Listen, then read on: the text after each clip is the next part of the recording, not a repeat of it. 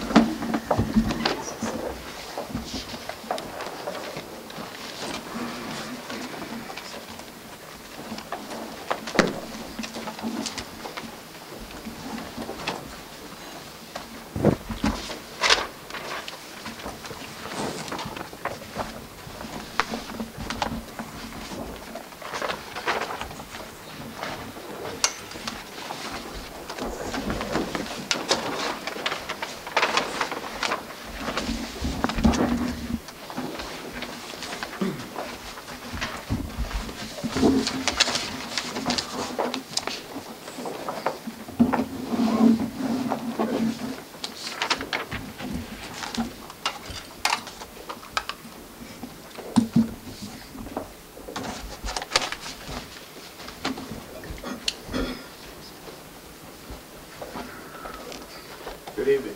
I'm Peter McConnell, lawyer with Bacon Wilson. I'm here this evening representing Five Colleges, Inc., the applicant um, for uh, a library annex located on approximately 45 acres of land between North Maple Street, High Meadow, and Rocky Hill Road. Um, And just a little bit brief history to put it into perspective. Um, Several months ago, the uh, five colleges filed an application with this board for the construction of a 100, and- approximately 138,000 square foot library annex on the 45 acres. Um, A month after the uh, application, you held a hearing at which a number of issues were raised. You raised the issues of the size of the building, you raised the issues of the use of the building, and several others, but those seemed to be the major issues at the time. Uh, The board then adjourned the meeting, sought advice from your counsel as to whether or not this was an educational use, number one, and number two, whether the uh, organization that was proposing the educational use was a- an adequate organization to do that. Um, You you also had expressed uh, a lot of concern about the size. So the letter came back from your counsel, which I think pretty unequivocally says it is an educational use and it is an appropriate organization running it. Your zoning bylaw allows an educational use in this zone, and the state statute mandates that an educational use be allowed in this zone with reasonable controls. So the applicant came back about a month ago. Um, Your counsel had proposed, had presented the letter, and the applicant, listening to you, came back um, with a building that was approximately 20% smaller than the building that was proposed earlier. It was approximately 112,000 square feet. So um, you held a hearing, as I said, about a month ago. The neighbors had some input, the board had some input, and uh, a lot of information was traded. But The board asked uh, for th- three more pieces of information. The first was, it was requested that the applicant put balloons at the corners of the building um, at 35 feet high to show where the corners were and um, how high that would be. Those balloons were placed, those balloons failed, those balloons were replaced, um, and hopefully most everybody who wanted to see the balloons did. Uh, The board was informed when they first went up by email, and the, or the clerk of the board was, and the neighbors were informed by uh, sign and literature. So the balloons were up, hopefully everybody saw them, um, detailing where the building is and its approximate height. Um, The second thing that the board asked for was a larger plan differentiating the habitat from the conservation restriction land, and that is this plan. The lighter is the habitat and the darker is the conservation restriction plan. But basically 35 acres of land will be conserved, some for uh, endangered habitat and some for simply conservation recreation uh, restriction. So this is the larger plan, and hopefully that helps to uh, show you where that land is. And the third uh, request of the board was to bring it in at 75,000 square feet or less. Um, The plan that was sent to you a week ago when the narrative and uh, notice of the balloons went out is 74,325 square feet. So it is about 53% of the size of the original plan that was submitted to you. So um, that's what we were asked to do. I think the applicant has been extremely um, accommodating, has attempted to do the things that um, they were asked to do within, within some reason. They've been extremely cooperative. Um, And I think that we have come down to um, having provided the board with a significant amount of information. Um, We gave you some financial information in the narrative that was sent to you um, with the notice of the balloons. I don't want to go through it, but I think that um, it is um, fair to say that this project is relatively tax neutral to the town. It doesn't produce a lot of taxes, it does not produce a lot of drain. Um, As we discussed before, the fire and police will be minimal, there are no school children. Um, We will pay for the water and sewer that's used, as everybody else. But yes, it is a not-for-profit organization and will not pay real estate taxes. Um, We believe that Five Colleges is a a great neighbor to have. They contribute to the town, as we said before, in many ways. Last year was $166,000 for PVTA, your share of PVTA. Um, We've donated fiber optics and a lot of other things that are relatively small, but, yes, sir. Does Five Colleges, Inc. contribute to PVTA, or is the Five Colleges? I believe it's Five Colleges, Inc. Where's Neil? Do you Yeah. contribute to PVTA directly, out of your budget? Yes. You do? And clearly, there's a, a a good benefit to the town. It helps to service, uh, services Route 9, but it helps to service the malls and the other businesses along Route 9. Um, So we believe that we have presented to you a project that is, has been scaled down, should, we hope to your satisfaction.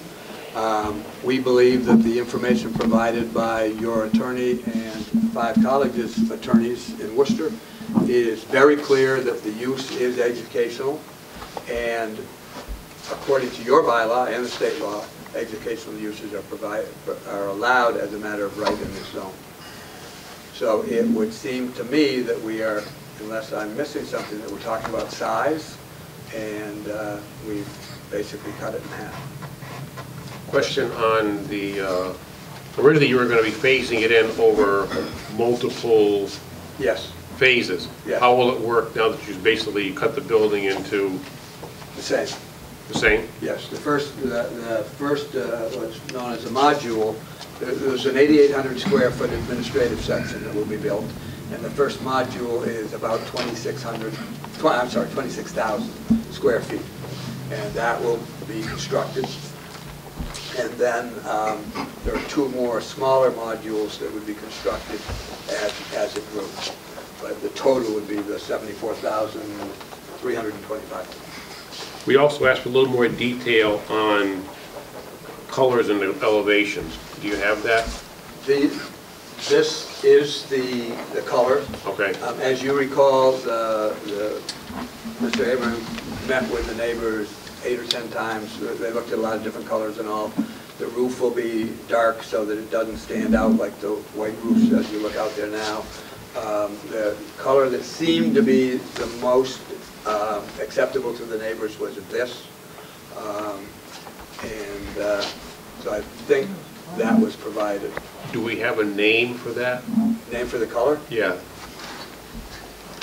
As opposed to something As look like opposed this? As opposed to brown? Well, I mean, No, because uh, all of a sudden, things evolve from the the yeah, time you yeah, show us. just- Just, a- a- I mean, a formal, whatever you want to call it. We certainly have, we we will give you that color, and Okay. it will be that. Okay, yeah. Just, just- just want to give it a name, that's all, as opposed to brown, because brown is mighty Dark. wide. Yes, yes, it is. I mean, the gentleman's shirt is brown, and typically almost Mr. Dwyer's pants, well, they're more of a green, but it probably in regular light, they could be brown too, so, you know. We that's all. certainly can specify that with, and it will be very close to that. That's fine, okay. Other questions from the board? Well, number one, regarding the balloons, uh, I went every day. I didn't see them. Okay, I live in front of it, didn't see it. Saw it once when they were putting them up, and then they Like, we never fell saw down. anything. So, no. Well, there are a lot of people who didn't see it. They were up twice. I, I- I understand. I went all of My son saw them go up, Yeah. and then watched them fall down. They- So, it- you know, if you weren't there for that micro minute, Well, it wasn't a micro minute. um, how, how many, How I long was have yet to ask the neighbors and no one saw it. I mean, I've asked a couple of the neighbors, no one saw it. PVC pipes with ones on the top would be great. Yeah, thanks. well, I Then think, they'd be there. And they said, uh, are they gonna go up again? They said, no, we have no plans to put them up again, so. um, I I don't, well, I I saw a a number of emails going back and forth, and there's no question, there was never, from us, there was never a, ah, we put them up, that's it. It was, I think, from Neil, was I am so frustrated. They went up, and as I understand it, without getting into the physics of it, it was so hot that the Mylar, they, they failed. So certainly the engineering stole your mask. And then there was- If I might, the, when we put them up the second time, Thursday morning, they were still there in the afternoon when several of us went out, saw them, took photographs of them. Uh, So, so they were up four or five hours at least. As far as I know, they were up on Thursday until the thunderstorm took them down. And And with all due respect, people do work during the daytime and not necessarily out of their homes, so they The wouldn't have. thunderstorms didn't come until Oh, dusk, so Okay. that- they wouldn't have been observable by the time the thunderstorms hit, but they, they were, they were visible for most of the day. They were up by 9:30, 10 o'clock in the morning and stayed up until the storm on Thursday. Well, Yeah, I- uh, But there was storm on uh, Thursday. we're, we're not gonna get involved, but when the Verizon uh, puts balloons up, they're there for a week or so, and you know they're there for their towers, so it's not an impossible task. Oh, no, no, no, it- I mean, I'll be the first to admit it didn't go well. We certainly hoped to put them up and have them up there for a week. Um, But that's not what happened. In fact, I think I passed you. You were going down North Maple Street, and I was going up North Maple Street looking for them. Mhm, I okay. can't remember whether, I think it was Thursday. Um, But, um, you know, I think that we, we do have some photographs that would show, but they're taken from far away. Yeah. So they really just show where on the photograph the balloon is, you can't really see it. But they were clusters of three balloons, multicolored, um, that went up. So, uh, uh, may I continue, Jim? I think it's a couple more points, and one of them is, uh, I don't know if we, you volunteered for trees, uh, landscaping around the building, and I thought that was your offering, and I don't see it on the building. Was that a, uh, an offering at the time, or did I misconstrue what you were trying to tell us? If I recall, our, You said you would put up trees, what we said is that we, it might be better to do it along here, so that, um, because just putting them against the building is gonna be a long time before it's shielded, whereas we thought that if there were some holes in, it, this, this yellow area is almost all forested. yeah, okay. And if we were to put them on the edge of that, or, or even close to a house, if somebody had a vision through here and wanted it blocked, we would do that. But I don't think that trying at, at this point to come up with a landscaping plan for back there, I mean, certainly build it along the building is possible. Um, The only constraint we have is the natural heritage.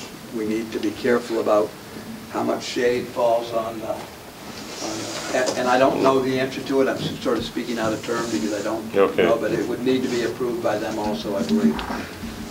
But we we are certainly willing to do appropriate screening. Okay, I'll see what other board members' wishes are. And uh, did it- we ever resolve the parking? I know the lawyer, not you, the lawyer from Worcester, from Worcester, was indicating that they don't need all that parking, but in the past, when you have a building if you don't need the parking, you don't have to pave it. But you should have the availability of future parking if all of a sudden this changes into some different My- my- industrial area or My something. understanding was at the first meeting that I was not at, 33 spaces were proposed, and you raised the issue as to the number of people in the classroom, in one of the um, meeting rooms, and the workers, that 46 was more appropriate, and I thought that there was a consensus that 46 spaces was what we'd like to see. Well, I don't recall that consensus, and we hear that argument all the time, we don't need the parking, but we always ask, including the drainage concerns, that you calculate for the amount of parking that a bylaw requests, but you don't have to pave it. So that's the other one, and And one of the things that I have to say that I think one of the big benefits of a structure like this as opposed to um, mass ventures or, or any other one is that the other ones do need all that parking. Correct. And Home Depot for, you know, it's got 226,000 square feet of parking, I presume. That's a lot of asphalt. This one, we do get to leave it quite a bit more natural because of, of the use. The van comes, picks up the books, leaves, the people working in there service the books. And What- I I may have misunderstood, but I, I Okay. thought 46 spaces was, and my other one is, uh, we have uh, a choice now of bonding. We can leave the uh, certificate of occupancy up to the building inspector, or we can request the bond to coincide with our peer review engineer to make sure that everything is constructed in, as an appropriate manner. Um, I'll Let the rest of the board comment on that, but those are some of the points I wanted to cover. certainly the security is not an issue for us. Okay. Other questions? Yeah, I'd like to make a comment. I watched, I missed that meeting, the last meeting that you folks were in, but I watched that thing, I just got out of the hospital, I watched that thing on TV. And you did file the certificate indicating that you are eligible to participate. I know what I watched was Mr. McConnell, uh, Attorney McConnell, that he stated, I think this, I think that. I know one thing, I know who I represent. It's not Five College, it's not Attorney McConnell, it's the people of this town. I think this is gonna ruin the neighborhood. I think the Five College and the colleges ought to be ashamed of themselves, and I would encourage the taxpayers of this Commonwealth to call their legislation body, and they own thousands of acres of land, but they don't want to put this bunker on their land. They want to put it on our land. It benefits nothing from this town, and I cannot support this at all. I don't care if it's 600 feet or 200 feet. The thing looks just like a bomb shelter. That's what it looks like to me. You know, it's taking up farmland. It's like, there's people, there's trails through there. People can go into people's backyards. Nothing's gonna stop it. They're gonna invite people in there yet on top of it. Not by my vote. I will not stand for that, not at all. And I certainly are calling my legislation about the misuse of funds and where they could build this on their, their land, their present-owned land, but they don't want this thing on their land. They want to put it somewhere else, throw it in Hadley. No.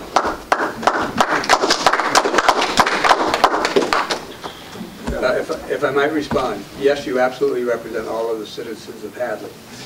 And there are anywhere from 10 to 30, 10 to 15 who have shown up. I think that, that it is, when it's compared to other uses, I know you don't think it's pretty, but you're not going to have to look at much of it. You'll see corners, you'll see pieces. But I will tell you that I believe it is a much better deal for the town of Hadley than to put a house here and a house here and one there. Now, I'm not going to represent to you where the wetlands are or where the habitat really is, because I don't know. But I Right. do know that a couple of houses can be put in there, at least. So be I it. do, It's not I, proposed, this is, excuse me. Yeah. I do know that what a couple of houses in there does is it gives everybody a view of some roof. Um, I know that it also generally costs the town a couple of thousand dollars a year, houses versus others. So it's not, this is not producing tax dollars, I understand that. But it is also not going to drain tax, uh, municipal resources from the town. It is not going to use any fire protection. It has completely sprinkled, has its own protection. It has its own security system and its own security forces that we went over that you heard when you, when you watched the tapes. Um, It does, obviously doesn't produce school children. It doesn't produce any traffic. Other uses, the house produces 12 or 14 trips a day. So for all of those reasons, I think it's a good use for the town of Hadley. And I think it is, um, the site is suitable. It's not good farmland. We are preserving, we are preserving 35 acres of land for the neighbors, basically. Um, There are trails that run through here. Um, We're not advertising with signs or parking that, uh, for the whole town to come, but they are open. The neighbors can use them as they do now. But won't hap, what won't happen now is, since it's going to be managed, the students aren't going to find it as a, uh, an inviting place to go and have a bonfire and a few beers on a Saturday night. I personally think, and here I am again, John, saying I think, but I personally think that it's not a bad use for the town of Hadley. It's a good use. It's preserving 35 acres of land that, in all fairness, is not good farmland. It was farm, but it's not good farmland. And it's preserving that land for the citizens, for the neighbors. And, yeah, it's not beautiful, but none of those, the buildings that you look down on, a Lane Manor or Home Depot, it's no different. This is right next door to those. Across North Maple Street is uh, two buildings bigger than this, or one building bigger than this, and they, they look sort of the same. Um, So I think it's, it's a bit of an overstatement to say it's just a bunker. It is set down, it is visible from some spots along Rocky Hill and some along High Meadow, but I, I think it's a reasonable use for the town of Hadley. And if, if your concern is that it's not an educational use, I think we can argue that. If your concern is size, I think they've done a great job of bringing it down to a reasonable size. Are you trying to tell me and convince me this is attractive? This building that you're proposing is attractive? I think it's as attractive as... Uh, I'd like to see you have that in your backyard and see how attractive it would be for you then, It's the same in with your Home thinking. Depot or Lowe's or any of them. Except it's in an agricultural residential district. It's a permitted use in that district.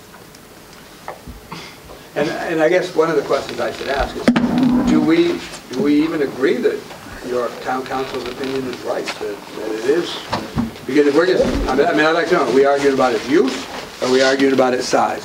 I'll tell you a comment on that. When I was a selectman, I fired that town counsel. That's what I think of him. I understand, but every once in a while, we do get it right, and I think you got it Every right. lawyer you talk to has got a different opinion. I got Uh, an opinion too. Every lawyer I talk to says, agrees with the letter you have, and the letter that we have from Bob. You're not talking to the same ones I am. Okay. The, uh, Other, other comment? One of one of the stated reasons that you're putting it there is because, and I think I'm correct, is that it's accessible and centrally located. I don't think that's an acceptable reason. There are, there's plenty of acreage over on Hampshire College. It's much more centrally located and accessible than this piece of property. Okay, So I don't think that's a good reason, but that's what was told us. Uh, And unfortunately, Five Colleges, Inc. is uh, acting as a shill for the five, for four colleges in UMass. And uh, I wish somebody from the colleges in UMass would show up here, but they haven't. Uh, So I'm sorry that they put you in this position. Um, You know, we've, we've, before I sat on this board, they had a history with uh, Mullins Center, and they came before the, apparently before the board, and they discussed the Mullins Center, and we apparently put certain restrictions in. And that building went up, and I've attended many basketball games there over the years. But uh, after that building was put up, they decided that they could do whatever they wanted to. And they put up two or three more buildings, and they thought that they didn't have to involve this board anymore. I'm kind of concerned that this is going to happen here. Once a building goes up, anything goes, anything goes. And I do think that this is the beginning, I'll probably be long dead, but this is the beginning of uh, five colleges, in particular UMass, expanding into Hadley, uh, uh, baby steps, here first, North Maple Street, Roosevelt Street, and pretty much that whole corridor, in 50, 60 years, is going to be uh, UMass and UMass buildings. So those are my comments. Well, it- just one comment, the the fact that, I, I totally agree, it's the wrong place. You've got Hampshire College, UMass, everybody has a lot of land, and and Amherst College has land, and certainly it's the wrong place, but we must address what's before us now. And if we want to change things, Mike, uh, for example, Representative Scibak is in the audience, and uh, Cambridge has an exemption from the Dover Amendment. Perhaps that's what we will have to work for, to see if we can get an exemption from the Dover Amendment. And certainly, I'm, obviously, I'm not a lawyer, but nevertheless, I did read through some of the, the the footnotes and the case law, and the Dover Amendment just gives educational institutions a wide, wide variation of what they can do. For example, Regis College put up five buildings, 760,000 square feet for luxury apartments for senior citizens, and they called it educational because they were required to take two courses at Regis College in order to qualify. And that was approved by the Supreme Judicial Court in Massachusetts. I mean, wow, I mean, what chance would we have if we say no? I mean, we- we're going to spend thousands of dollars of litigating something that we have probably no chance of winning. Uh, But if we do want to make a statement, let's make the statement in the correct direction for maybe some relief through the uh, legislature where we can mitigate the, the Dover Amendment for, for Hadley. If- Other comments from the Well, board? if I could, okay. Anything else? Okay. Oh, A few. Okay. Ernie? It's not a legal test, you know it's good. Gotta be legal. So I, I, I admit, I am not entirely convinced by uh, town counsel's opinion that this is an educational pur- purpose. It does seem to be a warehouse. Um, And I think we all concede that the conference rooms in the uh, administration module don't by themselves confer uh, educational status. So it's a warehouse. Uh, We would not approve a Barnes Noble warehouse for unsold books in that location. Um, I am troubled that it's not contiguous to any of the campuses. Um, Sure, uh, Tufts could build a five-story parking garage adjacent to or at the edge of its campus because they had parking needs on campus. But um, and if this were on a campus, there wouldn't be any question about it. But you're just, um, just pick this out of a hat. I'm also troubled that these are not the books of Five Colleges, Inc. Five Colleges, Inc. has no books to store.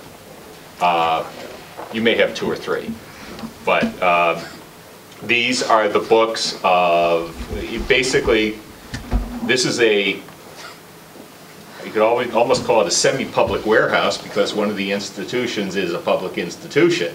Uh, Admittedly, I can't store my boat there for the winter, but it is, it is a warehouse. Um, Bulk, I'm concerned about that somewhat. Um, As you point out, uh, Mr. McConnell, there are large structures in the general vicinity, but they uh, are all located in uh, areas that are properly zoned for structures of that size. Uh, And that is something that went through town meeting at great length, two and three times for some of the projects, maybe even four times for the industrial park. But those reflect a consensus of the town on where buildings of this size can go. Uh, To your comment, the bylaw does say religious and educational uses exempt under 40A Section 3 are allowed by right everywhere in the town. Uh, But business and educational uses not exempt under Section 3 are allowed only in the business and industrial districts. And I also share um, uh, Mr. Szynski's uh, concern about creep. There are reasons for zoning, and among them are to keep like-kind things together, and this is not like anything else that is currently allowed in the district. Um, I'm, I'm just concerned that there's, you just haven't made a case that there's any compelling reason to locate this project on this site, other than a general statement that it meets your criteria. But, yeah, as I said, I, I am concerned that I'm not seeing an educational purpose, I am seeing a warehouse. Um, And uh, in that, I differ from uh, Mr. Bard's opinion. Um, So, those are my concerns. One, one of the things is that every library has books, are warehousing books on the shelves. The difference is a student comes into a library, and I think, I haven't been in a long time, he says to the librarian, I'd like this, this issue, this, this volume. And the librarian goes into the stack somewhere and gets it and brings it out and gives it to them. This one will be, I'll go into the UMass library and say, I want this particular volume, and they'll say, we'll have it for you this afternoon or tomorrow. It's just uh, the same, same function, the same service, it's just not face-to-face with that particular participant. But I guess what I'd like to, to say, and, and I'm gonna be, I'm gonna be blunt, but I, I, and hopefully none of you will take it as confrontational because I think most of you have enough history with me to know that I'm not confrontational. But I think it is totally inappropriate to say, because you can't tell us why, a good reason why it should be here, then we're gonna vote it down. And that's totally inappropriate within the zoning bylaw, within the state statute. I think that there is no question in my mind that this is an educational use, and that what we should be talking about is reasonable bulk, dimension, parking, those kinds of issues. And we should be talking about that, and certainly we can all disagree on that. But when I look at this and think that five colleges came in here as a representative of those five colleges and made the presentation, and the board showed some reluctance. Um, They went out and looked at it and agreed to bring it down in size and bring it down in size. They have been extremely accommodating about this. And I think to uh, the board's concerns about Hadley, I think it's a terrible waste of Hadley's resources to go and litigate whether this is an educational use or not, because it is. And I think there is, if if we, if if Tufts can get a parking garage, if that's an educational use, certainly books are going to be an educational use. So I think, with all due respect, hands down, you lose on that.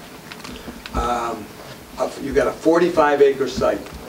There can't be creep from uh, anywhere near us. The 45 acres is preserved in perpetuity. There's nothing that we can do there. So, does it creep in another part of town? Very possibly. I don't think we should be punished for something that, I guess UMass did at the Mullins Center or the Horse Farm or whatever. We're here trying very hard, we've said it before, that we're not even sure we need to be here, but we are here trying very hard to come to an accommodation with you who represent the town to do this project, preserve the 35 acres, allow it to be used for the, for the townspeople, especially the neighbors. And I really can't imagine that a court is going to say, this is not an educational use, number one. And number two, that they're going to say that it's too big. Um, On 45 acres, a 75,000 square foot building is not too big. Um, So my feeling is that, that they have done what they, what, everything that they could to satisfy this board, that they don't deserve to be put down for having come before you to try to do this. They've made a good faith effort to satisfy each and every concerns that this board came up with, other than go away. And I think that you have a duty to look at this carefully, to look at its educational use carefully, and I think to approve the permit to build this. It- It's a reasonable size, and it's allowed in the zone, and it's allowed by statute. So having said all that, from the board, is there anything other than go away?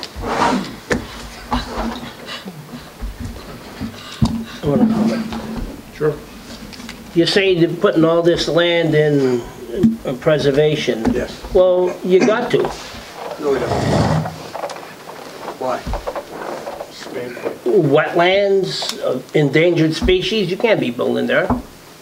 American Heritage said they spiked that area out, didn't they? No, we did. We Well, went to them, yeah. but they're not gonna let you build on that land, correct? well, we're not gonna build uh, on it. Wait a minute, us. I didn't ask that. American Heritage is not gonna let you build on that land, or whoever's there. There's five acres right there. That they- That land. They have said, build your 138,000 square foot building. I'm sorry, 100 and, yeah, 38,000 square foot building and the associated parking and all. That's fine. And what, what really happens on this, Mr. Mieczkowski, is that's all they wanted. So they were happy to give the rest. I mean, i- if it was a developer in there, would he be saying, oh, sure, well, no, he'd be fighting and they'd be pushing and shoving and that's what happens. But there's five acres right there that can be something. Could it be houses? Can it be something else? There's some space right here. Could be. And there's some space right there. So it's not something, and, and I don't want to, um, you know, say we can do this and we can't do that. My point is that we are willing to put that 35,000, uh, 35 acres into preservation and manage. We are going to endow a fund for a conservation organization so that they can maintain the darker yellow spaces. No, the light up, Pardon? the light up. No, The the CR goes on these and they, we're gonna spend $50,000 on uh, Other way around. species to um, manage, um, to take out the invasive and do whatever is necessary there. So there's a significant amount of money going into preserving this for, How soon does Smith College need a place to put their books? I have no idea. Any other question from the board? Comments? Audience? Yes, sir. Do you have- Name, name, name I'm first. sorry, Seth Morrow, uh, 122 Rocky Hill Road. Um, Do you, do you have any intent to expand this from its current footprint? From the 75? Yes. Not at this time, obviously, at one time they wanted Then to. could do I it. ask the landscape architect a question stated, actually tomorrow? Why we continued the drive if the property, or if the footprint no longer goes around that? Um, I can answer that. We do have an existing order of conditions from the wetland, I mean, from the Conservation Commission, Mhm. which was an arduous process to obtain. And that's the project that we have approved from the Conservation Commission. I'd recommend that the board look at that. I, I, we can't see what you're pointing to. Oh, I'm sorry. It's a, The uh, racetrack going around a tiny building. It- It's on that one, too. Here, right here. The LA. Because it sure seems to me that the intent is to continue to add to the structure. It's this here. What we have done is that's what's permitted through Concom. okay. And that's what's permitted through natural heritage. So we have left all of the drainage, all of the, um, the uh, plan that was approved by them the same, because it doesn't make sense to go back at this point asking for smaller.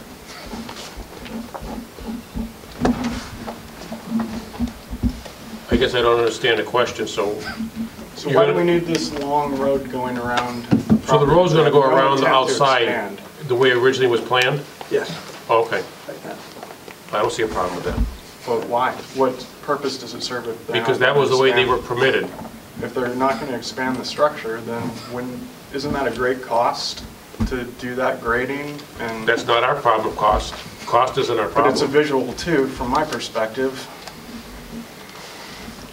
Unworkable. And that's, that's affected land that they're gonna have to grade, that's going to affect, I mean, there's spadefoot toad down there. If you, if you went and walked around there, I guarantee you'd find one right there in that site. I don't know that. We don't know that. We can't comment on that. We've been out there all summer studying the situation. We've had traps out all summer. We've been out there, a wildlife biologist has been on site many a time, and we have found none right now. I can lend you my three and a half year old, or two and a half year old, you'll find out. Yeah, I'm just saying, we, we have performed a study that was required by natural heritage. You know, Jim, that would probably uh, answer the question I was asking generally to the board, if we could reserve that area for future parking. I'm sure they could. Yeah, Ask him to reserve that area for future parking, and then he would satisfy, closer to satisfying the criteria. Because that's just gonna be great grass area, right? Yeah, I get it. Yeah, Yeah. Meadow, Yeah. yes. Just call it, fu- call it reserve parking then. Because Just put the the timeline, drainage has that's all been you gotta do. calculated already. But The it drainage has is all been. calculated, yes. Yeah. Yeah. Sort It is done. of. And that way it would satisfy my concern, I,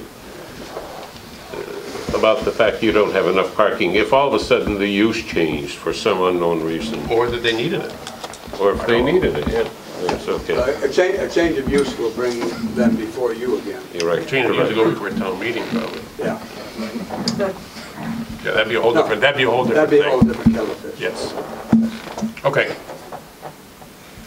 Other comments? Yes, sir. If I could speak to that point just briefly, our plan is to build a road that is needed, as determined by the uh, fire chief, suitable to the phase that uh, we build. So if we build the 36,000, 35,000 square foot initial building, we wouldn't build the racetrack, we'd build a a tighter, tighter road, but we need a certain amount of space for staging for the construction, and so it would go around the building being built and the staging area. And so the plan would be to move that road as we build Okay. successive phases. The- You asked for the maximum build-out as a plan, we went and got it permitted, and so this continues to show Okay. maximum build-out, not initial build.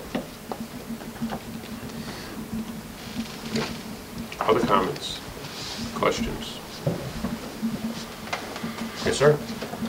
Yes, my name is uh, Charlie Payne. I'm a representative of the Carpenters Union in Western Mass, and we have members that live in Hadley, and I brought a bunch of people that live in Hadley and the surrounding towns. We think this plan is irresponsible from the get-go, um, from the selection of a contractor from Worcester to come in and build it, and they they just want to put it here with the threat of litigation. You don't, you know, they don't get their way. Um, These packet, this information I have, I've sent to them and requested that Mr. Abrams call me to talk to me about it. I haven't received that phone call back, but I'd ask you to look at this and consider it.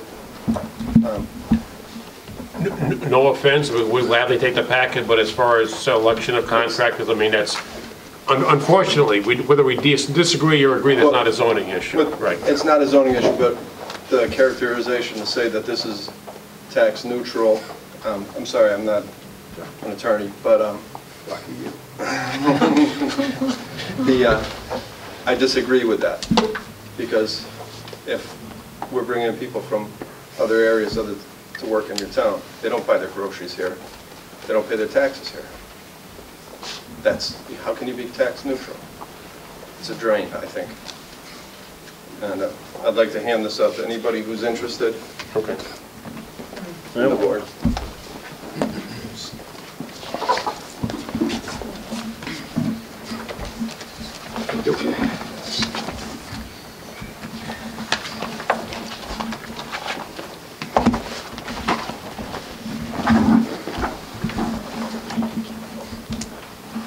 Other comments, questions, anybody? Yes, ma'am. Hello. Nancy Banman Boyle from uh, 17 High Meadow Road. And um, basically, I did see two balloons briefly. Um, I believe it was Thursday, but then the next day, they were gone. Um, And I, I can't help but wonder, one of the points I wanted to bring up was security of the area. And the students are back. It's very different. Um, I could hear a couple of loud parties going on. And so one of my concerns on my list is security of the, of the area um, after 5 o'clock or 7 o'clock. Um, And what does it mean for us as neighbors in terms of lighting? I, I, I would like, I guess, more detail on the lighting of the parking lot. It's my understanding that you have to have lights in a parking lot, but I have heard other things.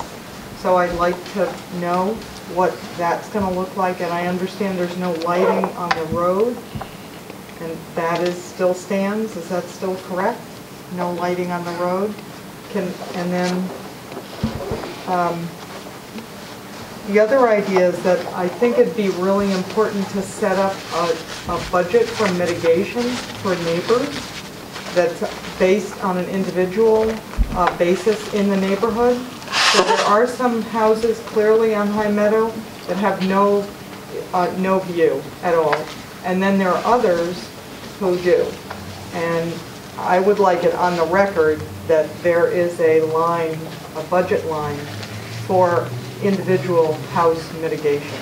So for people with, at Rocky Hill have different needs than people on North Maple. So I'd like to see that be entered officially. Um, And then that's the first I've heard that this, this building could actually change functions over time? It can't. Okay, so that's official too. Okay. Well, let- let's say it, it can change, it, we are permitting a library annex right now. They came up with something else, like a commissary for the five colleges, food Right. storage, uh, it could change use in that way. Uh, It would probably have to come back to us, but they would still argue it's an educational use. Uh, But then there would be 12 trucks an hour versus 12 trucks a week. Or a hockey rink, you know, that could really, that could be very different. So, but there's a, there is a clear rule that that cannot happen. No, there isn't. Without, No, there is not. There is not. Okay, Never say never. okay. To be clear, it cannot happen just because we want it to. They would be back before this board suggesting oh. that if the, Under the Dover Amendment. if if that's the law, we shouldn't follow the law? I understand that. You understand we shouldn't follow the law? No, I understand. Just, sir, please, take, take this, you have been recognized. Let's keep things, So, And, go ahead, okay. I'm sorry. So that, all right, I just brought that up. Um, And then I think creating a community advisory board, that, that officially something be entered into the record that Five Colleges, Inc. looks to, over time, in the future, to obtain our input as neighbors, um, so that we can, if there are any other issues that come up, and there may be, because this construction project is going to be quite large, I think that would really be, uh, I think we need to maintain a method of communication. I think that I, I think that we could agree to that without my even speaking with, with Neil, mainly because I'm impressed that he's done 10 or 12 meetings. He's been up talking to people about colors, talking about where, and a lot, so, I mean, correct me if I'm wrong here, but I, I don't think we have any problem. I think we want your input, as long as it's all just, not just no, no, no, but, yeah, we, we would love, we've, we've sought it now, and, and I think for good or bad, five colleges isn't going anywhere, so they're gonna want to be a good neighbor, and they're gonna wanna hear from you. And certainly, if you come and say, we need three hundred thousand dollars worth of landscaping, the answer is probably gonna be no. But, um, I think we'd love to have input from the neighbors, um, add off into the future, way off into the future. Um, You know, as I said a number of times tonight, I found that they've they want to compromise and do, try to work their way through it with the neighbors, with the board, with the town. I think they've done a remarkable job, and I'm assuming that they'll keep doing that, and that they would um, love to meet with you, with the neighborhood group periodically to discuss whatever issues. And you are correct, during the construction period, there may be some issues. Um, To get to your point about lighting and security, what we represented earlier was that the lighting would mostly be motion activated. So it's not going to be a parking lot that's lit up all the time. It's going to be activated when somebody opens the door to leave, those lights will come on. Um, There is an infrared, to be an infrared security system, so that they're not, it- the fact that it's dark doesn't mean they don't know when somebody's moving around there. Uh, There's going to be a gate at the entrance, and there's going to be private security servicing the premises. So will that absolutely positively stop every student party in the woods? Probably not, but we're going to know about it and get there, um, and it's going to become a whole lot less popular. And what we're trying to do is keep, with the motion sensors, is to keep the light infiltration to the neighbors to a very minimum. And there will be times, even as I understand it, that the parking lot will not be lit while there are workers in there. But when you open the door to leave, parking lot lights will come on, you'll go to your car, you'll drive away, and then within some period of time, they'll go off. So we're trying to keep the impact of the lights low. That's, that's what I, I would appreciate, that the lights shine down rather Yes. than out. Shoebox. Yes, the That would be great. shoebox, the standard Yep. shoebox lights shine straight. Did did I miss anything? Uh, Nope, nope, everything. everything. Anybody else? Yes, sir. Uh, Roland Mandler, 121 Rocky Hill Road. First of all, I can attest that the balloons were out Thursday morning because unfortunately I could see three of them from my house. Um, Which tells me I'm going to see half or more of the roof of this building. And I'm really concerned that I'm not hearing any landscaping plan that's going to shelter me from any of this view. I don't want to be looking at over half this building from my house. I mean, I just bought in Hadley because this area was beautiful and untouched, and, you know, I'd like to see a full landscaping plan here that shows how the neighbors' concerns about what they're looking at are taken into account, not a, well, if you ask for too much, we're not going to give it to you. I don't think that's an adequate answer. Somebody else? Yes, sir. I'm John Scibak. I represent Hadley in, in, in the state legislature. And a couple of questions, a couple of comments made. The Dover Amendment goes back to 1975. And you're correct that Cambridge was issued an exemption in 1979.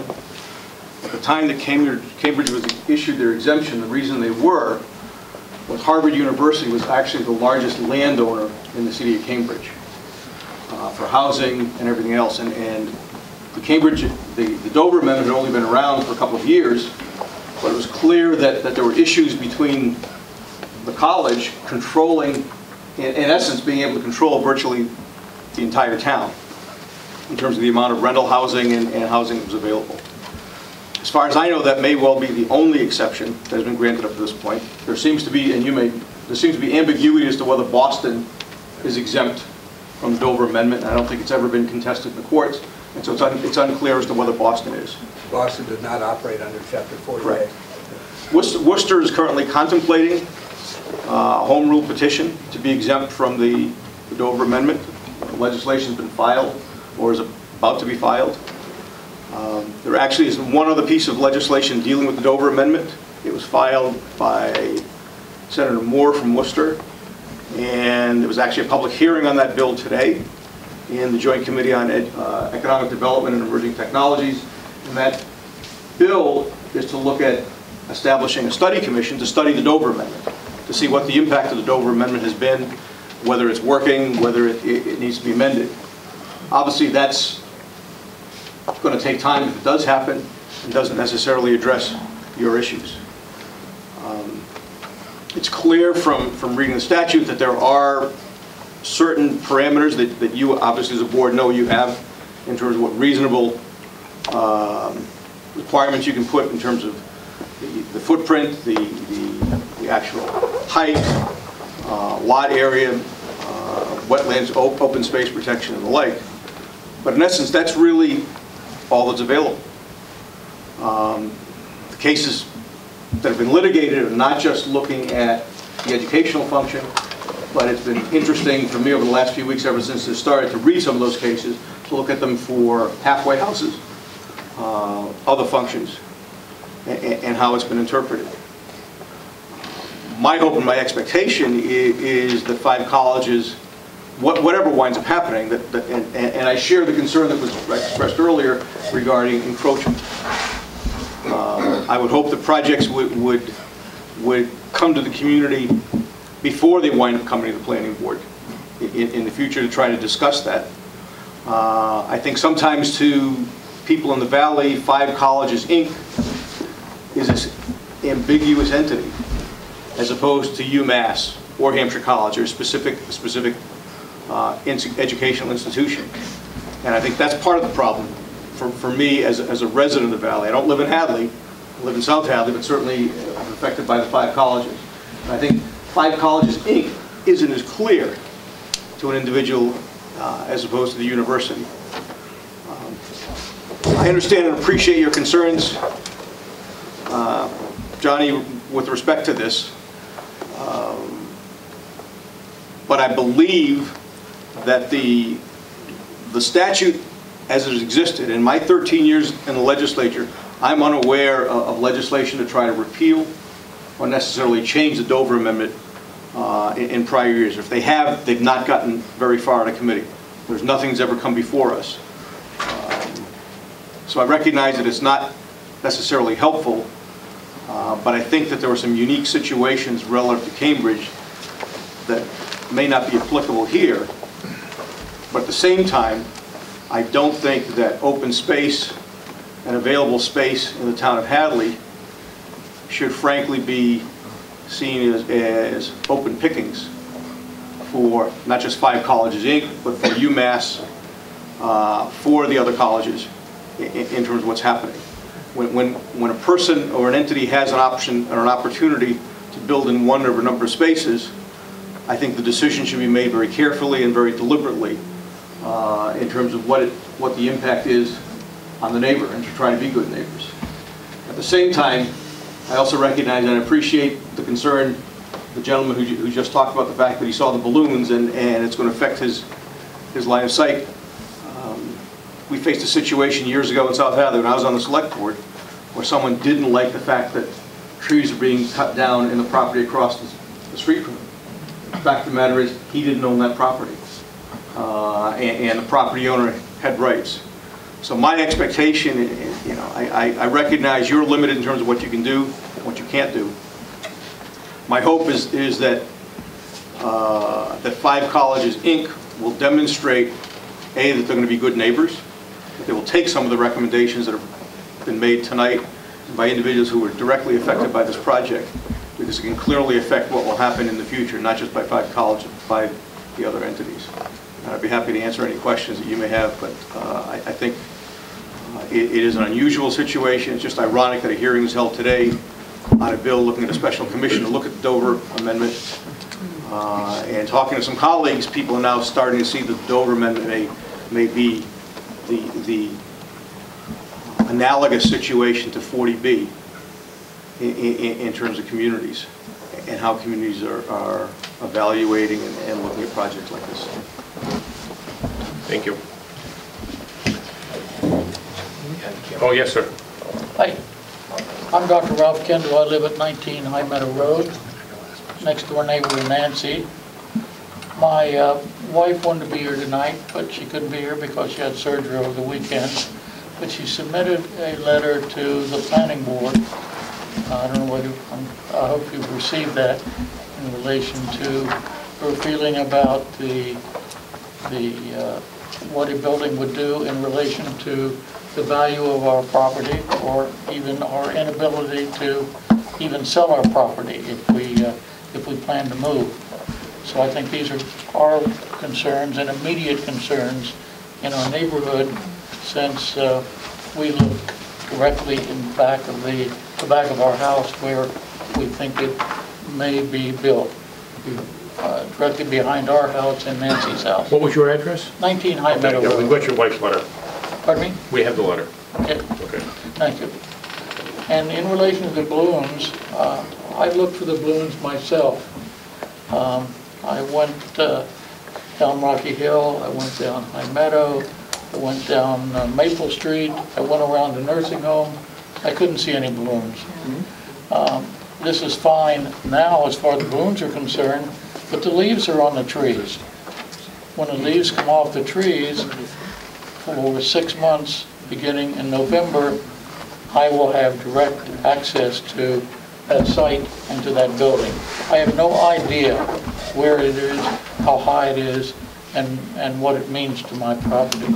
So uh, the balloons were useless as far as I was concerned.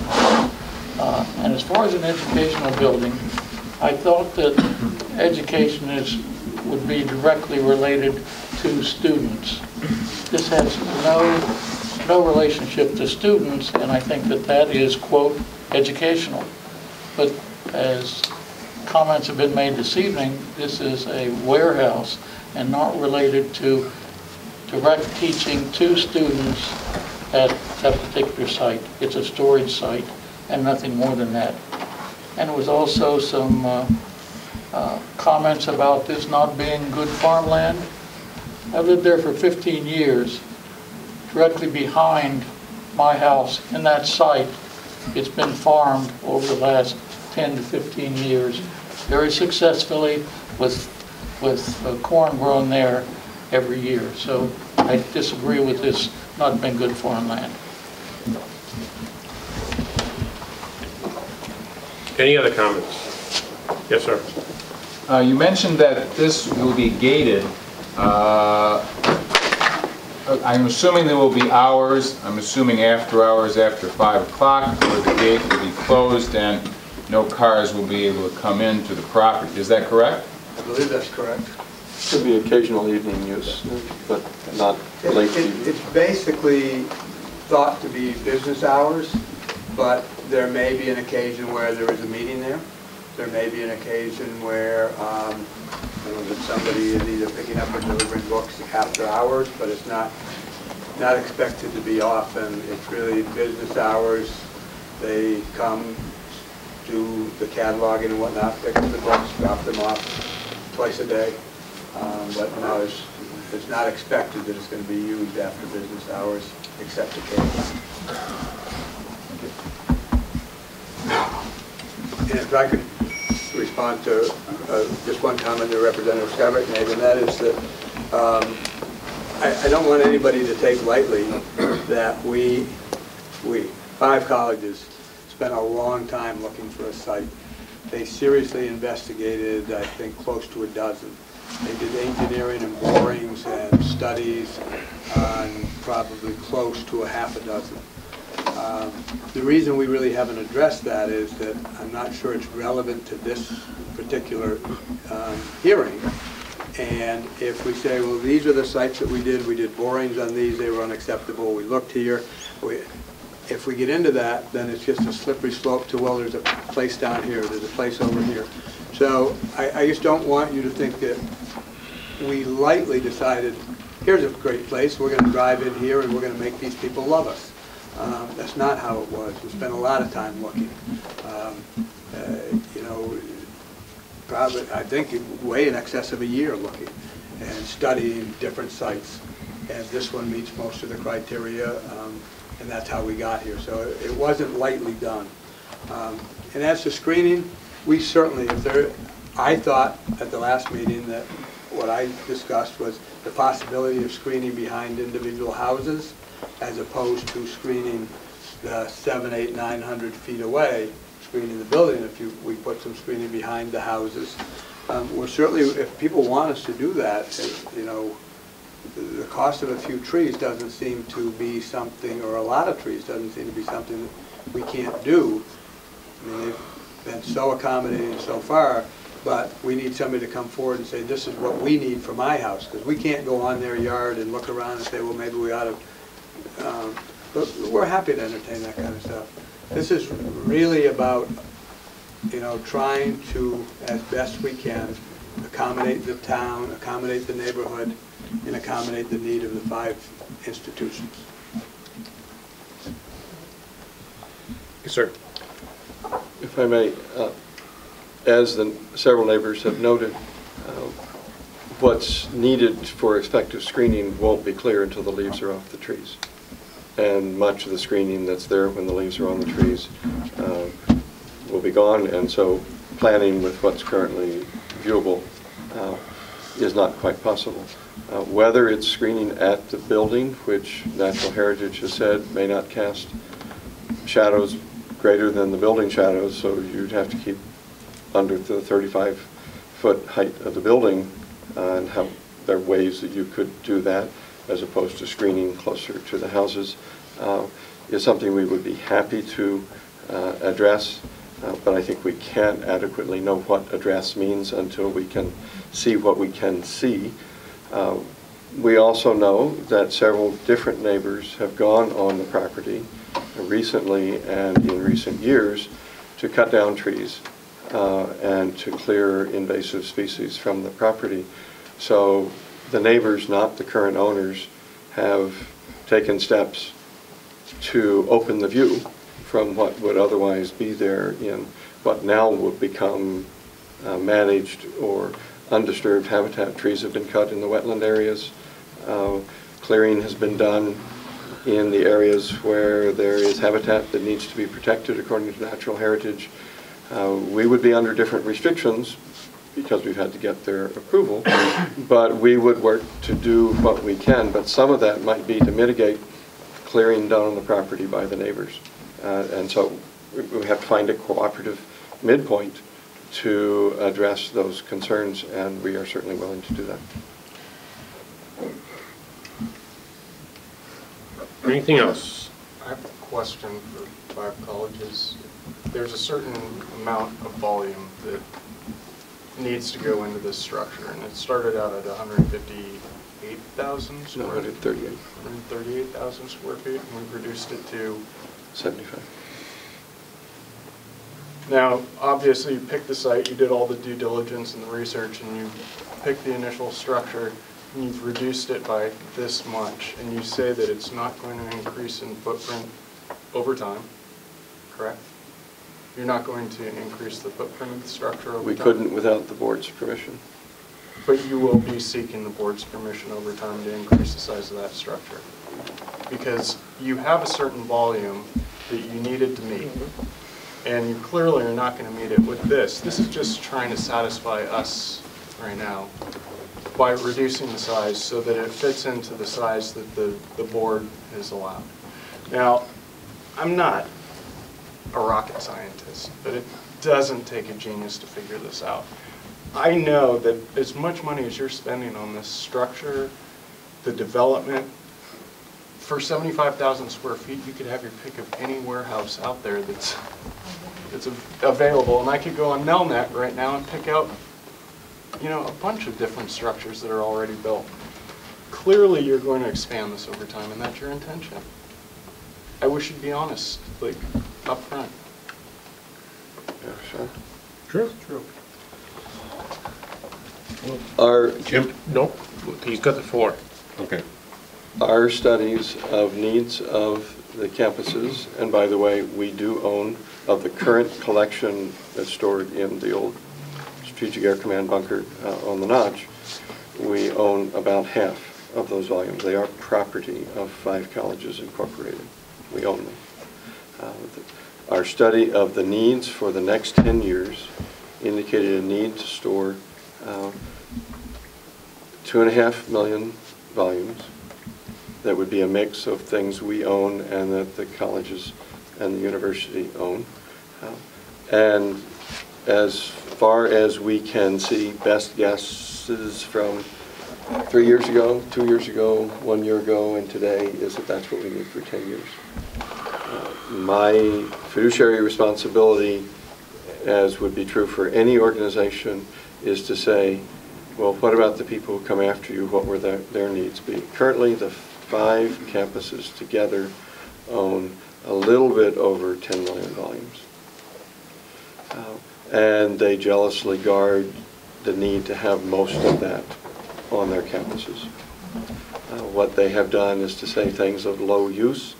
Uh, Maybe we only need to keep one copy for the occasional recall, particularly if it's available electronically.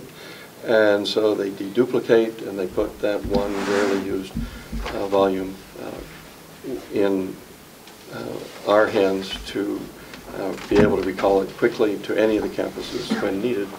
Uh, And that creates space so that they have room to expand.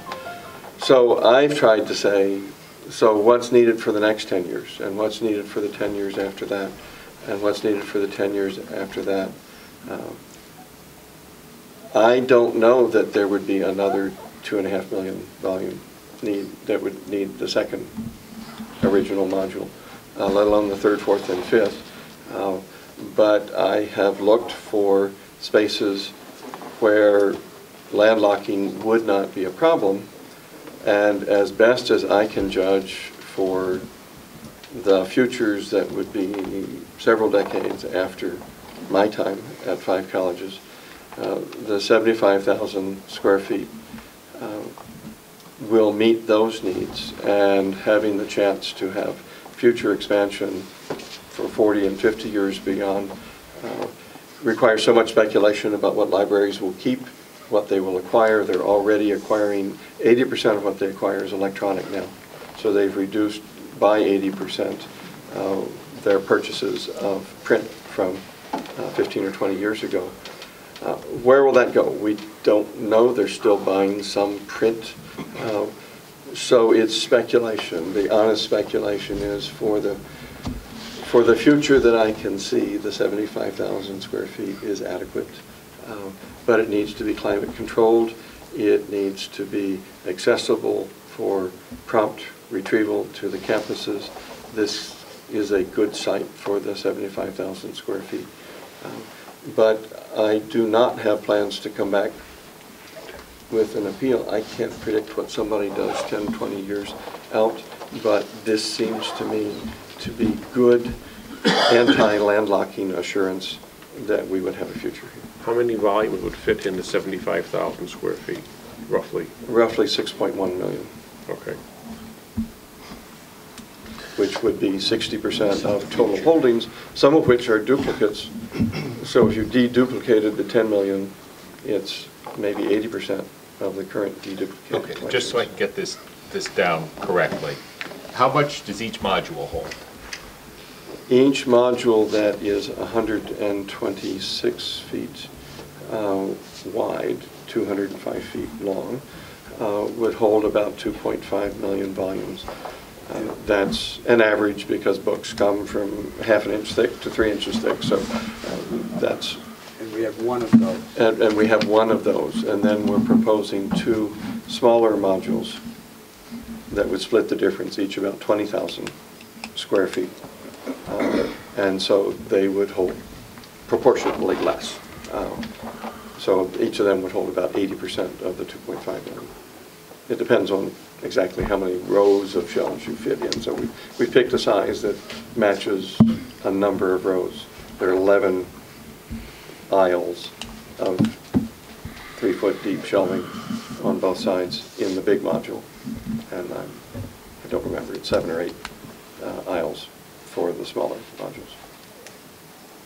So that's your 30-year estimate? You think this will be Well, I, good for 30 years? I, I think, Maybe.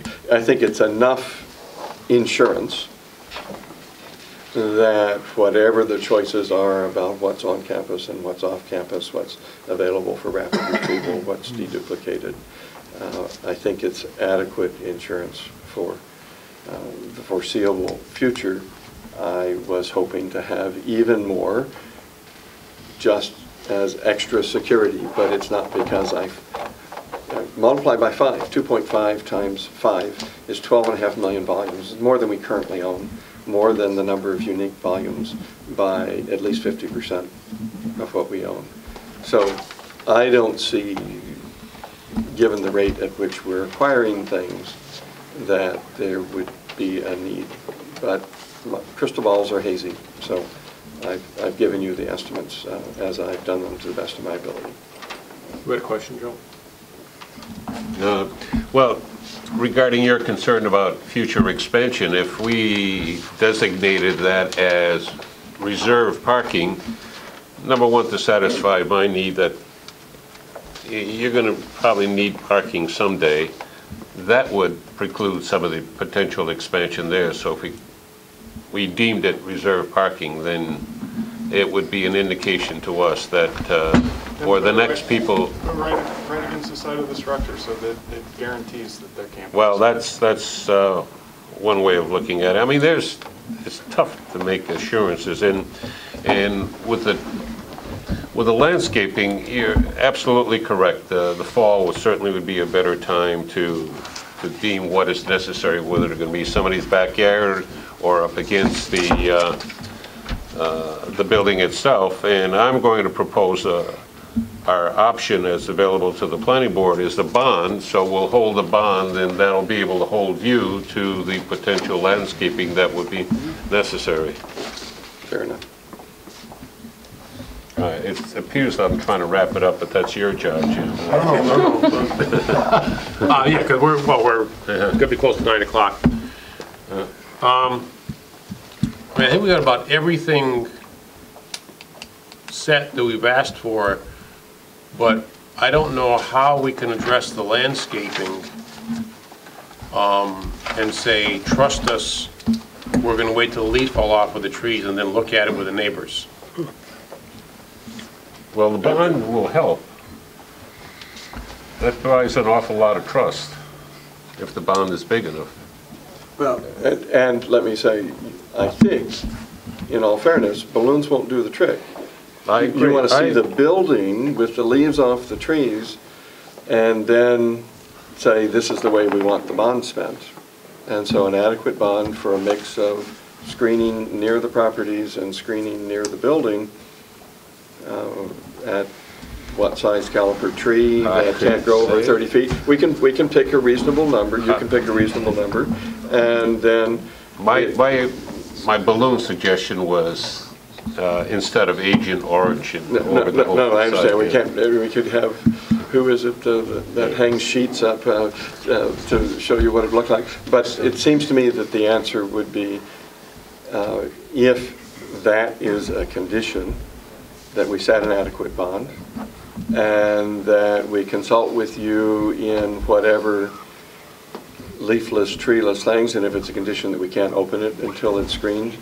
Uh, Planting won't always be as big Yeah. later as when you put it in, so uh, you may say, you may open if, but on the timetable that we're presently discussing, uh, construction would be completed in the fall, and you'd probably want to wait till November, maybe late October, before all the leaves are off the trees, before you could stipulate how you would want the landscaping bond to be spent. And if you hold that bond, we're held to doing that, or that you um, would have it done from the bond, uh, and, or you hold the permit to open the building until we have presented an adequate plan based on the sight lines at the time uh, when it can be seen.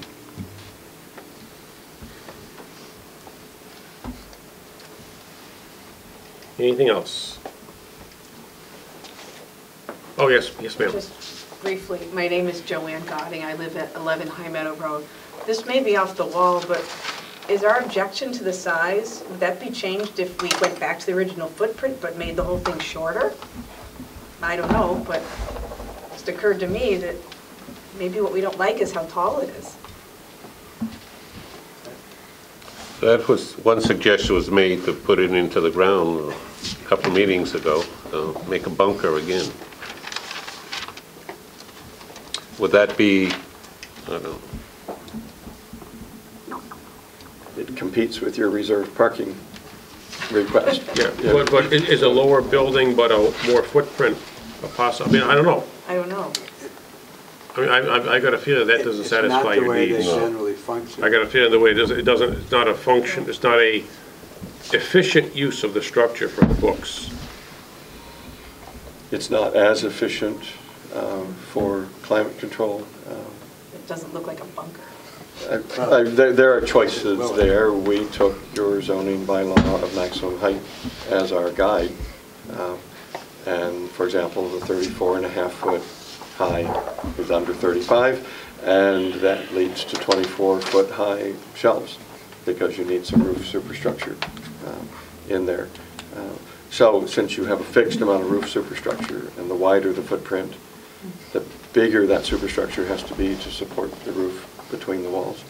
Um, It does help to have more shelving height under that roof than less. Uh, But if there were specific stipulation, uh, we would address what that might be. But it seems to me you have competing requests for us to uh, make it shorter and to reserve parking. And I and I need to know what the condition is that you issued. The the reserved parking, you know, it's nice, but, um,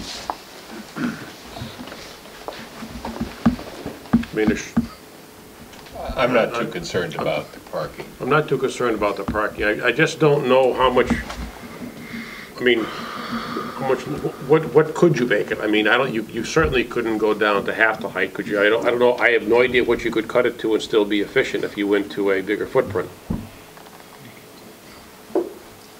I don't know, is it 30? Yes. Um, It couldn't be a lot shorter. uh, And so we could do that. And- And the parking, as the legal opinions have said, have to be uh, requirements appropriate to the proposed Yeah. use, I mean, not to future use. So Right. the the bylaw that applies to other things of twice the square footage in parking is not appropriate to the proposed use. And so Dover Amendment sort of constrains your requirement of that. Um, But if you wanted it to be shorter in your application of bulk, um, you can do that under Dover Amendment so long as you don't prohibit the actual educational use by placing restrictions that are so constraining as to prevent it. So uh, mean, also- to ask us to experiment without telling us what you need is a sort of catch-22. We come back with something, new objections to, to come back. If you have conditions that fall within the, we're not prohibiting you from doing this, uh, but we want you to meet these conditions, landscaping, a- a different height, uh, then uh, I don't, I don't think it solves the issue either. I mean, it gets longer, a little bit lower, so maybe more people see part of it. it- uh, we- Yes, sir. In- In line with that, um, a lot of the adjoining neighborhoods are looking down on this building. The bigger you make the roof, the more we have to look at. Yeah. That- So I- I I don't see that that's off. Yeah, that, that's what I'm kind of thinking too. It it's not like you're looking like this, you're, you're looking down at it and, yeah, you're gonna see the roof and I, my gut says you're better off to see less roof, even if it sticks up a little bit more as opposed to, I mean, 100 130,000 square foot of roof is a lot to look at. 75,000 is a, is a whole lot more palatable than, uh, the big structure would be. it's not much different than the roof of the Elaine Manor. Yeah. Except that's irregular. Yeah. Lower than. And That's just what I'm curious about, is if it's lower. John? Currently, your, your book storage up by the notch there, that's underground? Well, it's in the mountain, yeah. Is it underground?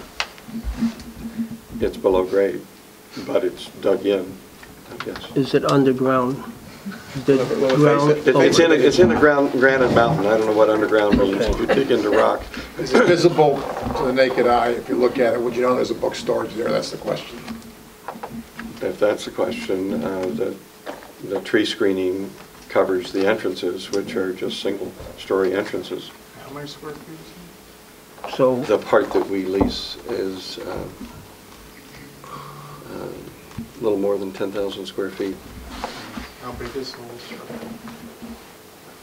I don't know, it's got multiple stories, and a dormitory, and uh, Sounds like you've got kitchen, your and solution right there. Uh, We don't. Uh, Am- Amherst is only leasing us as much as they can lease to us, and that's a limit, doesn't, they, they don't have enough for even another half million volumes, let alone the two What and a about half. the Hampshire Mall?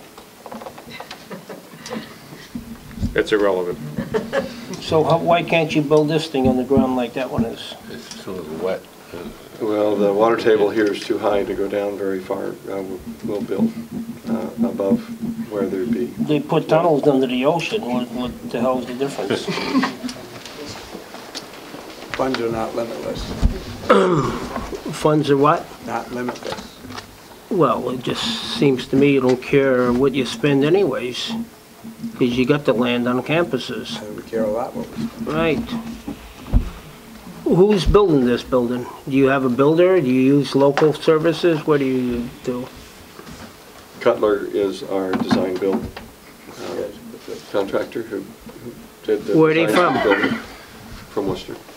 and they have uh, bid the, uh, the subs uh, to give us a guaranteed minimum price, but until we have permits, we can't know which subs will be available uh, to bid for the services. They were offered, offered in Western Mass, there's no, no contractors available? John, we we used to be very adamant about asking for local contractors. No, I'm just However- asking what, I'm asking who's just- doing it.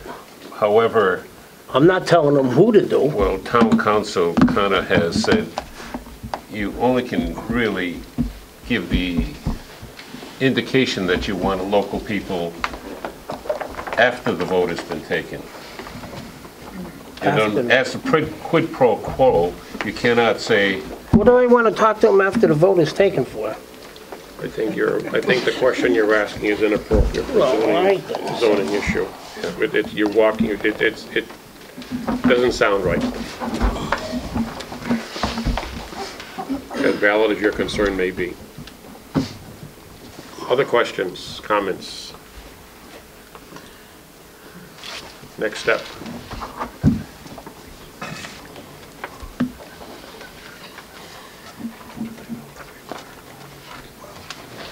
Well, one thing.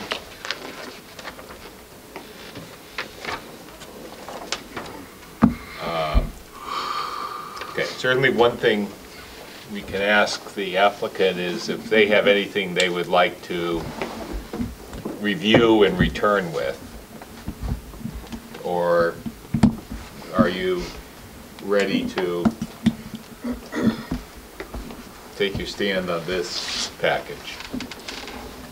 Well, Why don't we turn it around and ask, is there anything the board would like to see from us? And clearly, if uh, we are willing to participate in the suggestion of the bonding for the landscaping, but that does take a little bit of, you know, what's the amount? Um, Who decides how it gets spent? Is is it a, you know, what, it- and the biggest thing is what's the amount? Um, And uh, if the board preferred, we're willing to make a proposal that would give the neighbors and the board suggestions, because you may not agree, but use of a certain uh, fund to um, do the screening as people think is appropriate. What we may think may not be the same as you or the neighbors. So, so this is different than our usual Yes. performance I- security. I heard it a little differently, yes. Yeah. So it. Well, not, not necessarily. I mean, this is not your first rodeo when you come to talking about bonding in Hadley. The fact that we do want to make sure that the, the road and the, the- all the infrastructure is done in a proper And I manner. think- I That'll be think that part of the bond bond is- as well. I think that bond is separate. That's going to be whatever your 10%, 5% that we always talk about. Correct? I'm talking about five colleges guaranteeing a certain fund to do certain landscaping, that once the leaves are off the trees, the neighbors have thought about what would I like in front of me, one neighbor may say, I want a dozen arborvitae's. Okay, so you're Right up- looking for two separate I'm, bonds. I'm looking for a, I, I thought what I heard was a fund And, and appropriately landscaped. Well, I think that's what the lady was mentioning, a budget for landscaping. Yeah, You you can call it what you want, but I mean, based on what the building inspector has told us, he now has authority to withhold the certificate of occupancy if it isn't built like that. Mm-hmm. Right, but right Okay. now, we don't have like that for landscaping. I understand Yeah. that. So what we're doing is we're kind of, call it what you want, we're, we're all working towards, I think, the same idea, is that bond fund, whatever you want to call it, for landscaping after the fact, Yes, is basically what we're looking at. after the leaves have fallen. Right, and, it- and after, if, you know, if approved, after the building would be put up.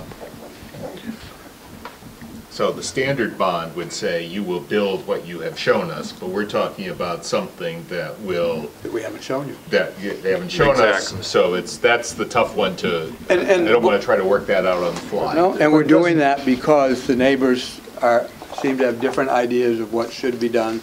Build, trees, maybe it's a combination of trees up against the building, trees up against my lot line.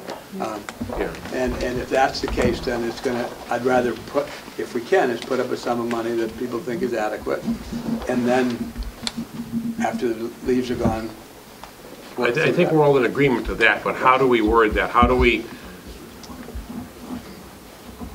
Well, they, certainly, the brilliant engineer in front of us, he, he he has a uh, a ballpark figure. Oh, he- Uh, well, okay, no, so wait, wait, wait, wait, wait, yes, Yeah, I let- agree. When we're not asked, when I, I, I don't know that it's appropriate that we try to do that right now. Oh, I agree. I- And, and I think what we want to do is put it, the ball in your court to really come up with a number based on, obviously, Mr. Darnold's and what you, th- I mean, obviously, we're not gonna, we're not talking seven figures either. We gotta keep, I don't know, I- you know, I, I think, you know, a bond should be put up in the amount of the properties affected, and that they should, they should have an independent appraisal done of every house that is being affected and blocking, blocking, uh, creating obstructions because of the building being built, and that's the value of the bond. But we have I- no- They're destroying property values by putting this in there, that's But the we- value of the but- bond. What are the value of the properties, Jimmy? And the other side of that argument is 35 acres of preserved space increases the value of some people's property. yeah. There, there's no, we have no proof except pure hearsay that says this is going to decrease my property value. There's Gonna increase it? absolutely no evidence of that, unfortunately. Because some, one person is gonna say it's gonna decrease it, another person is gonna say, well, I think my property's worth more. We don't know. We have no way to say, no, we have no proof either way. If a Bondi Island were put in your backyard, what would it do to This your is, this is property not a value? Bondi's Island, okay? So you can't compare this to And I Bondi's don't Island. believe that over, over time, that Elaine Manor reduced the values of those houses by one penny.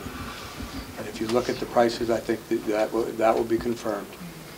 So, you know, you gotta keep the emotion out of this and base it on the facts, okay? And I think what we're looking for you to do is to come back to us at the next meeting with a proposal of the bond and some kind of wording of how it can be applied to the properties. Because I have no, no idea, I mean, we're, Mr. Dwyer said, this is, this is different. Yeah. And, you know, you're agreeing to do it, the neighbors are requesting it, and that's wonderful, but how do we apply it? Now, let me make a comment for the audience, that we're not asking the applicant to decide for us. We are asking the applicant to commit some effort into putting together a proposal which we will review. This is very common in litigation where the judge will ask each party for a proposed order, language that each party would like to see in the document, and then the judge decides what goes in. So they're not doing our job for us, they're helping us do our job.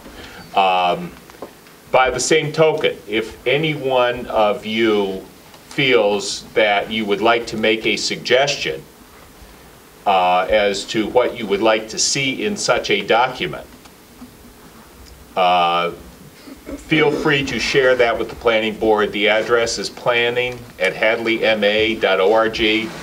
It is on the Hadley webpage for the planning board. Uh, All of that comes directly to me, so uh, I will get it.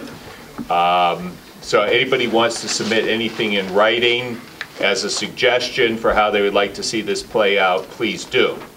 Um, Do we want to try, I- you know, I hate to step over PVPC, but the 20th looks even busier, and I don't... 20th, 20th well, we have a choice, we can, we can set the uh, public hearing, we're, we're talking about trying to wait to move the meeting next to.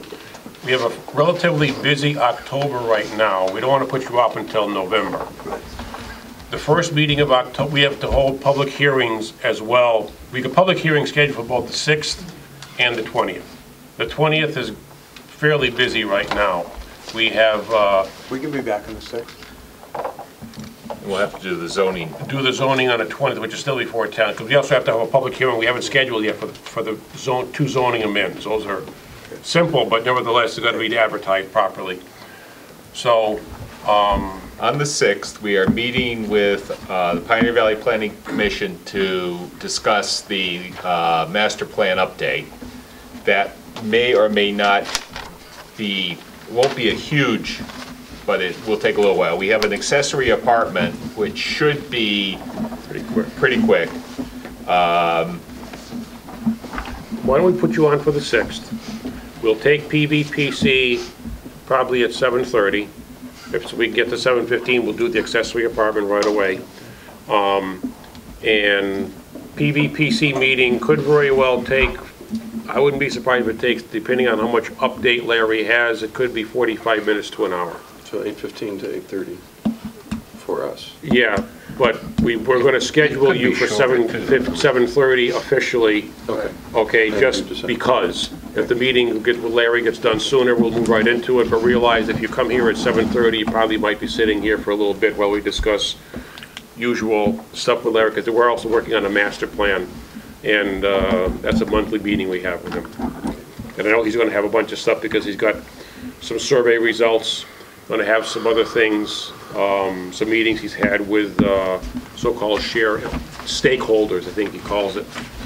And, uh, so, okay, so this meeting will be continued Before you adjourn, do we, uh, my suggestion of putting that reduction of the building into reserve parking to allay some of the fears that may have about future expansion, anybody think it is a good idea, lousy idea? if it's gonna be there, it's gonna be platted, that just, it's just words on paper. I know.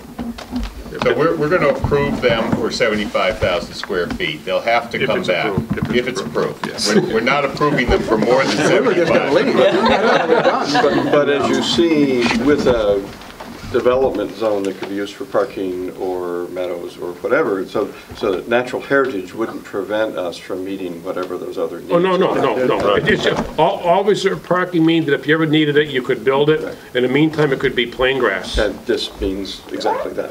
That's right. Yeah, we've got reserved parking on a number of parcels in town. You know, Mark's well aware of how we treat it. Is there any thought about a chain link fence around the complete perimeter? We talked about that at one point. Six-foot um, fence What the problem you get into with that is, Is what? is upkeep. I don't know, we, they, they, You can't build on wetland area, and there's substantial borders on wetlands, so you couldn't put a fence in the wetlands. You're talking fencing the whole And property in? neighbors said, Right. we want little or no uh, fencing know if I- on Rocky Hill Road, because that would be ugly and unsightly. So Yeah, it would. is that at most a split rail fence, and somebody puts up signs against parking there? Uh, But uh, we've got to work with you about what we can do, that Yeah, I don't think. how how you prevent foot traffic is hard, but uh, chain link fence around conservation Well, lands. that's the other, when you, when you come back on the 6th as well, if you could come back with what you're gonna do in Rocky Hill Road. Because right now you're just talking, well, we could do this or that, or this or that. So come out with, at least come back with a plan on that one. I mean, uh, yes, a plan And it Rocky it is Hill. our sense that the less we attract, the better. Um, Correct. If anybody Yeah. has any other Yeah. thoughts, please let us know, but that's our sense and that's what we'll do. And is there, is there anything else that anybody wants to hear from us? I know you've heard from us enough, but is We there like any hear- information that you want? to hear from you. Is there any information you want from us? Because we want to get it to you on the sec- sixth if if there is. More detail on the color. Yeah, we will, we Oh, will- really? we will have a name That looks concrete. It- Yes, and it looks gray. It does not look brown to me, and I thought Yeah. it was supposed to be brown. We'll send it to you. Would you be able to perhaps have uh, samples from your... Color chips? Yeah. Color chips. That would be great, thank you. Got? Could, could- could I also invite any of the neighbors who have suggestions about screening near property or near the building to let us know as well as the planning board so that we can price them? Uh, I- Trees of certain sizes and certain That's leaf structure run certain uh, prices, and so Ju- Just as a comment on the landscaping, the only trees or the only, the only shrubs we would approve will be native to the New England. and No. natural heritage would. No exorbitant, Palm trees? Oh. they wouldn't grow any, well, I don't know if they would Well, grow. they can't be I take invasive, that they back, can't be whether we've more had higher than the lately. building, there are a lot of choices that Palm trees. See what this is gonna do to that property. Okay, see you on the 6th. Thank you. Thank you very much. Minutes of September 1. Now we're gonna have a vote tonight. Motion to approve. What the hell's the difference? Second. Motion to approve minutes of September 1st. So Make moved. So moved. All in favor? Aye. Aye. Meet, anybody opposed? Meeting minutes, yeah. Approval. No, Motion got it? passes. Yeah. I'm sorry. Getting late. Right. Um, That's all we have. Okay, yes, it is. Motion to adjourn. So moved. All in favor? Aye. Aye. Meeting is history, thank you, and thank you, Richard. So, How come it wasn't the vote tonight? I was all set to vote. now they want to get that down here, whether or not it passes. Your files. That still is up there. Um, That's all the same. Yes, keep one, give one to Lady John and Avenue. Mike. okay, that's that, that's that. Howdy, howdy, Oh, howdy. yeah.